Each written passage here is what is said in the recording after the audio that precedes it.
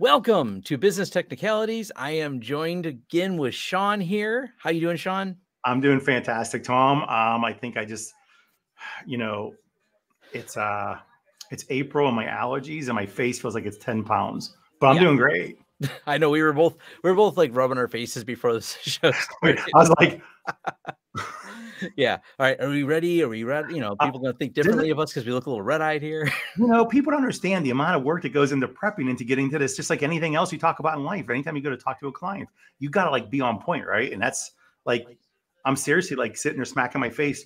I'm gonna start like. Remember Mommie Dearest, that movie? She put her face in ice all the time, like oh, in the yeah. morning, because she was like a complete raging alcoholic and her face would be swollen. Not done the raging alcoholic part, but same rules apply.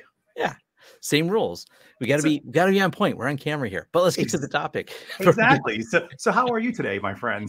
We are doing great. I am. I think you are, but um, there's been some churn in the market. I think there's something we should talk about, and it's that you're more than just the tools that you choose to use. Yes. I, think there's some people that sometimes may lose a little bit of sight of this. And boy, I know we have certainly uh, found ourselves caught up in the drama of any type of purchase, merger, and acquisition that goes on in our industry. Um, there's all kinds of fun that can be had with it but getting back to what is important focusing on what matters is you're more than your tools that make up this because if you are happy about the acquisition or unhappy about the acquisition, you still have to come back to servicing your clients and focusing on that. Even myself, I got caught up just reading scroll doom scrolling or laugh scroll. I don't know what it is, but I just want to know what the latest news was. And like the first thing you said when we started this conversation was it's going to be a year, and this obviously is directly related to the Datto Kaseya uh, merger acquisition that's going on right now but it's going to be a while before real changes are made so you come Absolutely. back to process procedure all the time when it comes to business it's just a component that is part of your overall i mean granted if you're a user and it is a big component so any changes in that can be very disruptive to your business but positive things can come out of it i'm not going to be completely negative uh, about it but i want people to come back to thinking about that process procedure part of this Sure. No, I again, it is going to take some time, and we really don't even know what the whole flushed out look will be of Kaseya Datto. But regardless of that, you you have to run your business day to day, right? So you can't really change what you're doing. Like I'll even use you as an example. You and I had this very in depth conversation a couple weeks ago that you're not the stereotypical MSP. You're like, hey, we use different things for different things. It's not the the standard, and right. when it comes to tools. So really, and I had this conversation with, uh, if you're familiar with Arlin Sorensen, um, he runs our Evolve program. Um, he's one of the people that run it uh, used to be H- ATG, HTG, sorry. And so we were talking about this just actually this morning too, before this call. Um, he's like, it's irrelevant. Your life still goes on, business still goes on. There's still a set of expectation that you build around yourself and to your clients of what you're going to provide. So if you're sitting there worrying about the tool, by the way, none of your clients know that Datto or Kaseya exists typically. Yep. Nobody, they're not Pepsi and Coca-Cola. They're not Under Armour. They're not Nike there's something that's just a part of your of your makeup that you're providing they know you as the product not the products that you work with Yes, the the products your business, the people you service, the products they consume is you. Always keep that face on there. And with limited exception, they usually don't even think about the tools. The majority of the I, IT and MSP projects that we do, they're not thinking about the tools we're using on there. Some are curious because I do some co-managed work. So, like I said, there's going to be exceptions, but the majority of the time, especially in the broader MSP space, they see you. They want to know that you are going to service the problems related to their technology. And as long as you keep thinking about that focusing on that and, and just changing out things kind of as needed and not panicking, you're going to do a better job. Getting really caught up or changing for the sake of change just because you don't like the acquisition, you know, even with my own, and I know someone's going to call it out and say, Tom, weren't you posting some memes? Of course I was posting memes. I can't help it. It's what I do sometimes. But nonetheless, I've posted memes about the tools and things I have used. Doesn't mean I dramatically shift or change. I always focus on what's really important. It's my service delivery, how we present things to the clients, so we're keeping things safe, secure, and functioning for them. And it's just putting that back into perspective is really where people's heads needs to be and take careful analysis when you look at how you integrate all these tools together. Absolutely. So, uh, okay, so uh, you know, since you are the entrepreneur of the of this conversation, the any MSP, which is very relatable to our audience. You said this about service delivery and products and whatnot. When you went through your selection process of products you were going to use to support your business, How did you do it? What's the first question you ask yourself? Oh, it's just a careful analysis of does a tool fit my needs? There's a, a, big piece of it. Can I understand the tool? Will there be a mutiny if I try to get my staff using this tool? That is some of them they didn't like. We're just going to throw it out there to look at the menu system and go, that isn't usable to us. So there's a real careful balance to to really vet these, looking at the posture of the company, thinking a lot about security. Uh, that has been brought up many many times in our industry because attacking the tools is where in the supply chain where they threat actors are really going now. So there's just a lot more factors involved than just picking a tool that works. It's picking a tool that works, that's secure, uh, that's scalable to where you want to be, not where you are. It has to obviously fit your immediate needs of wherever you're at as a business, but how plan how big do you plan on getting? Is that scalability feature there? Is that other feature sets you may want to provide, other service you want to provide there?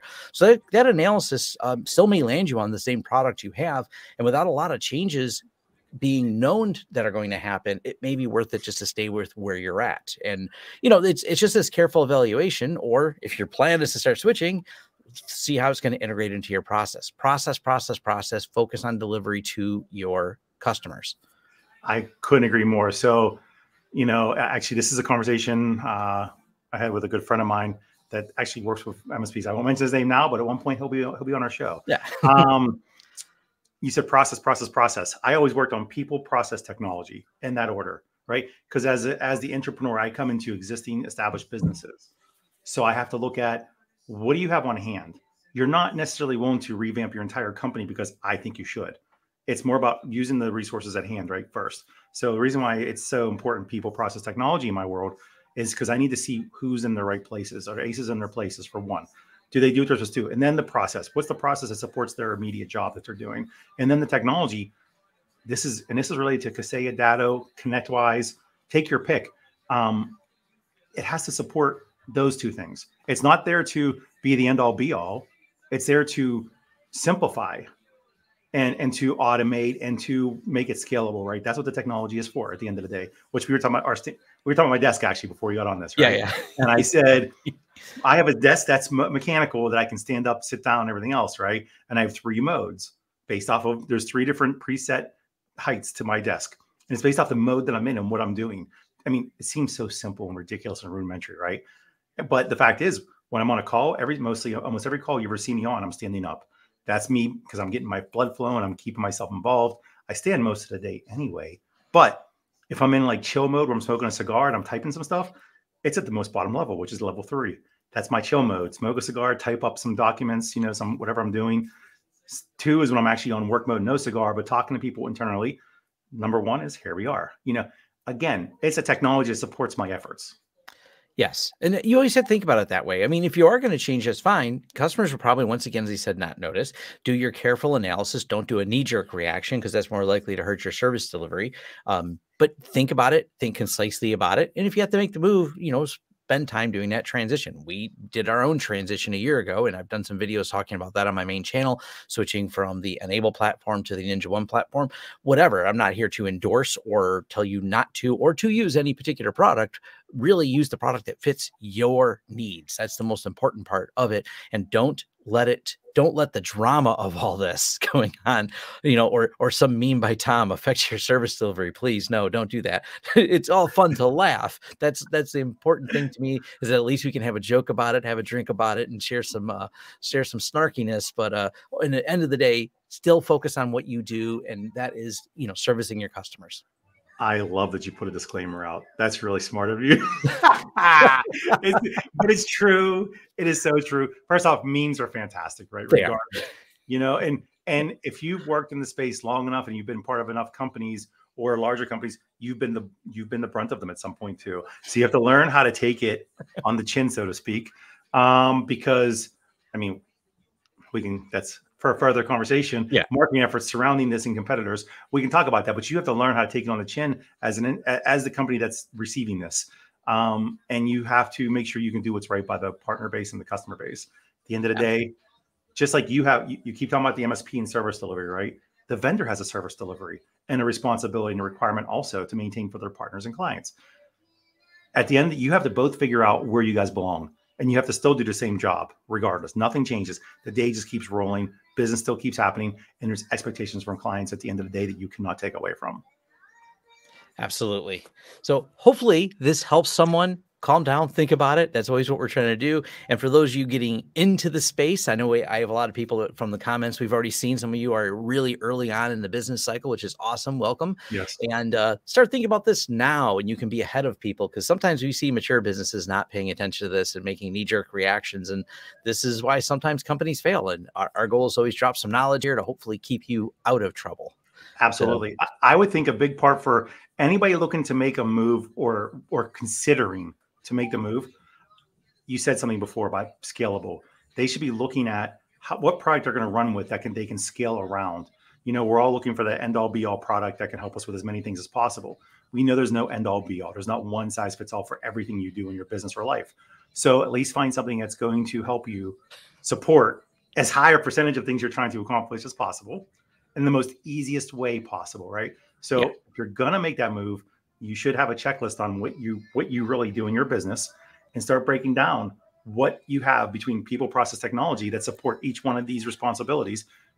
Then make your decision if you're going to because nobody saying things that nobody said anything about that was going to change. There's no there's right. speculation right away of course just like everything else. But there's no way of telling what's going to happen yet in the next year. It could be the opposite where Kaseya adopts the procedures and policies of Datto. There's simply no way of telling. Yeah so overall though don't get into analysis paralysis stop be calm you know it, it, sounds cliche but these are really things as much as I joke around. The reality is, I'm slow to change, slow to move things that I think will disrupt my business. I have the responsibility to my clients. I have a lot of staff that, well, they like collecting those checks, and uh, if I were to make some large mistakes, they would not be able to. You don't want to. You don't want to be there. I uh, I have a responsibility. I feel for all these people that are uh, relying on me externally and internally to uh, keep things moving. So uh, always be careful. Just some thoughts we want to throw out here on here. Um, all right. Anything more to this? I think we got it. I think we covered a lot. That I, I think it's a powder keg you know, waiting to go off. I think um, I, I hope that our listeners, viewers, still contribute to the comments yes. in a positive manner, please. We're not here to bash anybody at all. Right. So I mean, everybody here in this community is looking for help to help to, to figure out what's best for next steps for their business and their life. So let's try to keep this where people provide some actual informative stuff. If they know something that's going on, that's legitimate, not a meme, because a meme is not necessarily the real deal. Um, it's fun, but yeah. let's. I hope people feel free to ask questions. We will find that information we can as we can as it comes up. Yep. But also give us some stuff to work with too that it's going to help other MSPs in this community because that's what this is all about ultimately. Absolutely. Just dropping some knowledge, offering some help. Thanks everyone for listening. Thank you all.